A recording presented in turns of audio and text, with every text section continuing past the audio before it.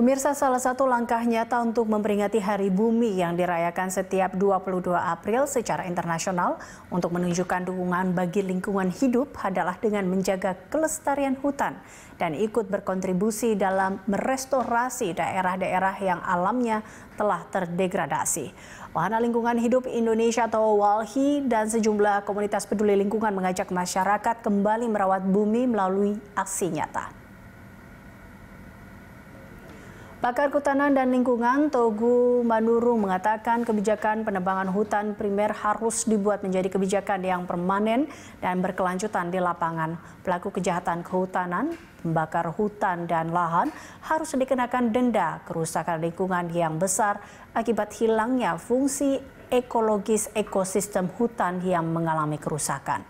Generasi muda harus menjadi target utama untuk menjadi tahu atau well informed dan menjadi sadar tentang permasalahan iklim. Generasi muda harus diberikan contoh tindakan konkret untuk membantu mengatasi permasalahan yang terjadi. Adapun area hutan yang sudah terbuka yang mengalami kerusakan berat bahkan berubah menjadi lahan kritis semak belukar menjadi area lahan yang tidak produktif harus diprioritaskan secara berkelanjutan untuk direhabilitasi sehingga membuatnya menjadi produktif.